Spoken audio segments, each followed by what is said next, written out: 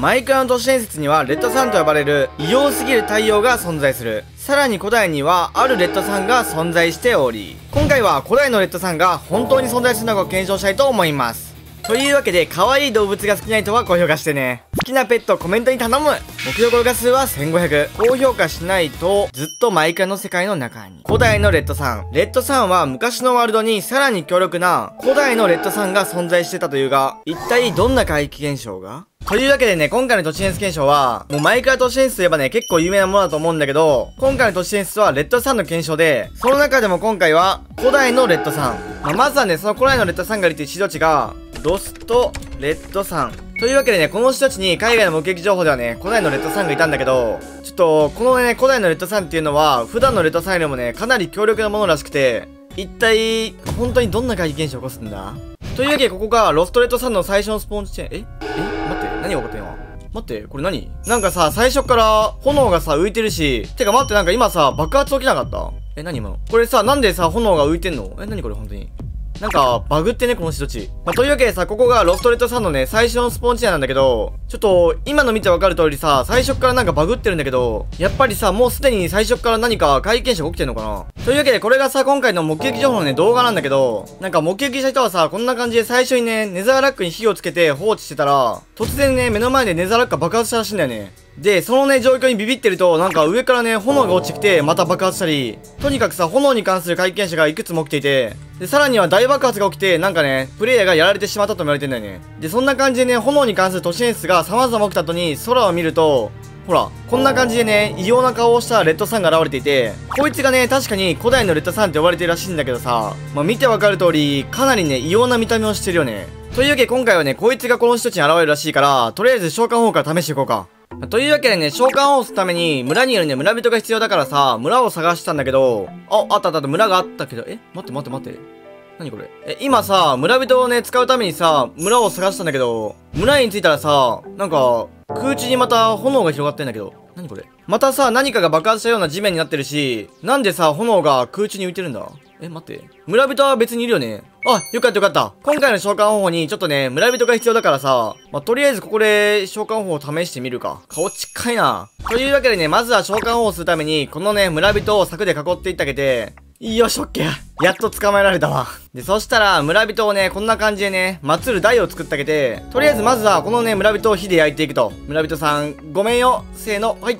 とりあえずはこのロストレットさんで村人を焼いて一体倒す。そうすることで村人生贄になるんだけど、オッケー。今、村人がね、火で焼かれて生贄になったから、あとは近くにいるね、モブもやる必要があるらしいから、まあ、この羊でいいか、じゃあ。羊も柵で囲ってあげて、で、こいつも火で倒すと。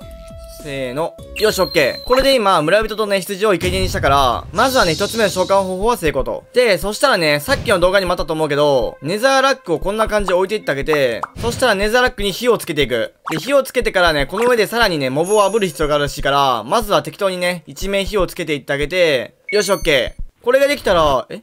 待て？は？ちょっと待って。え、今さ、ネザーラックに火をつけたら、なんか爆発したんだけど。何が起こってんの？そういえば、目撃情報のさ、動画の中でも、ネザーラック爆発したよね。え、ちょっともう一回さ、ネザーラック置いてみていい？こんな感じでネザーラック置いて火をつけていくと、なぜかさ、さっき爆発したけど、マジ何だったんだあれ。この上でさ、モブを焼いて生贄にしなくちゃいけないんだけど。え？待って。また爆発したんだけど。え、つまりもうさ、あの、目撃情報の動画のね、ネザーラックに火をつけたら爆発したじゃん。あの怪奇現象がすでに起きている。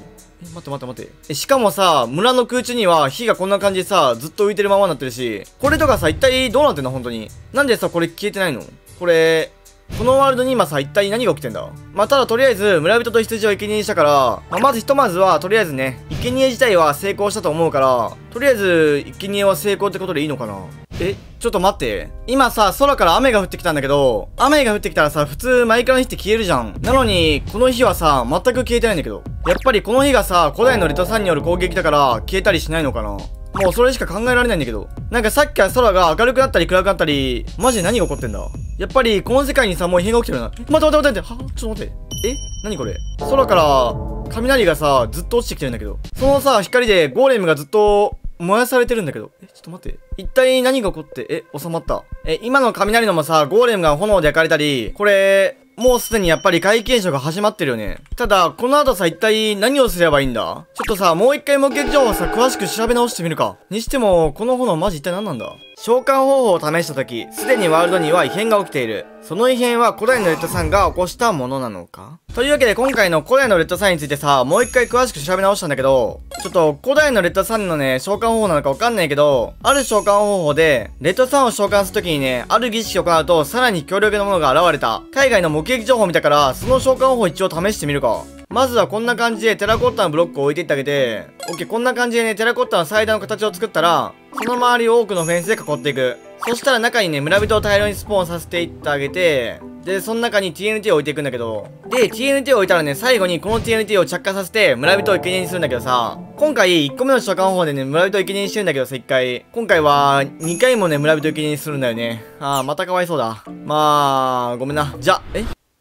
待って。ちょっと待って。待って待って待って待って待って待って。今さ、普通に TNT 爆発させただけなのにさ、なんでさ、こんなにでかい穴が開いたんだ？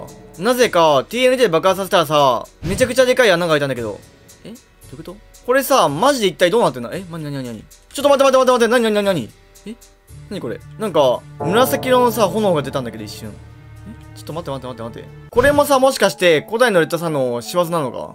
え、一体さっきからさ、このワールド、マジ何が起きてんだ？え？待って。ここに火の玉が浮いてるんだけど。え？え、待って、何これ？え、ちょっと待って待って待って待って待って。さっきのさ、召喚王を試して村まで来たら、なんか、至るところにさ、火の玉があるんだけど。え、でもさ、火の玉が現れたら、すぐに空から雨が降ってきて、火の玉が消された？え？ほら、村がさ、攻撃されてる。そして村人もさ、この村から消えてるから、もしかしてさ、ここで召喚王を試しちゃったから、村人がレッドサイン狙われたのか？待って、これ本当に一体何が起きてんだ？え？待ってほらまたさ、火の玉が降ってきてるんだけど。え？ちょっと待って待って待って待って。火の玉が目の前で落ちてきて爆発してたこれ、もしかしてさ、さっきの召喚王を試した時に近くにいたモブが狙われてる？待って待って待って待って待って。ただ、今回はさ、レッドサンだから、とりあえずね、空に現れる都市伝説だから、こうやって水の中とか洞窟の中に入れば、多分狙われないんじゃないかな。とりあえずね、ひとまずはこの水の中でちょっと避難しよう。そして、どうすればいいんだ、この後一体？とりあえずさ、洞窟まで逃げてきたけど、さすがに洞窟だとさ、近くにね、空もないし、炎も現れてないから、安全なんじゃないかな。たださ、地上に出たら、空から雷が降ってきたり、村にね、炎が現れたり、いろいろなね、皆勤職ってたから、もうさ、洞窟から出られないのかな、僕って。これ、ちょっと思ったんだけどさ、今起きた怪奇現象って、最初にね、ネザーラックを燃やしたら僕の目の前で爆発したのと、あとは村人の家が最初からなぜか燃えていた。そしてゴーレムに雷が落ちてきたり、村人の家にね、炎が放たれたり、すべてさ、モブに対して炎が襲ってない？ってことは、古代のレッドさんってモブを狙っているのか？だとしたらさ、やっぱり洞窟にいないとさ、安全じゃないのかな？もうさ、どこにも逃げ場ないのかな？え、待って。この炎、もしかしてさ、え、待って。なんでさ、洞窟に村人がいるの？しかも、今現れた炎って、古代のレッドさんのさ、炎じゃない？てかなんでさ、村人が地下にいるんだ？もしかして、地下にいてもさ、古代のレッドさんは、モブに対して攻撃ができるのか？え待って待って待って待って待って。ってことはもしかして、どこにいてもさ、もう、逃げる場所は、ないってことなのか？え、待って何？なんか村人がさ、集まってくるんだけど何？え？待って待って待って待って。え、ちょっと待って。え待って。ちょっとどういうこと？なんでさ、空の上に？えなぜかさ、モブとか村人、プレイヤーもさ、全員が空の上に出されたんだけど。えこれ、一体どういうこと？なんでさ、洞窟いたのに全員外に出されたんだ？え待って待って待って。今、一体何が起きたんだ？もしかしてもうさ、洞窟に逃げても意味ないってことなのかな？今落ちてきた時さ、空が夜だったはずなのに、昼になってんだけど。もしかしてもうプレイヤーとかさ、モブインには、逃げ場がないのか？え、なにこれ？え待って。まただ。また空からさ、火が降ってきた。ってことはさ、洞窟に逃げても空に突然出されるし、出されたら、こうやって太陽に狙われるしさ、これ、一体どうすればいいの？待って待って待って待って待って待って。え、これさ、もうプレイヤーにさ、逃げ場はないってことなのか？え、待って。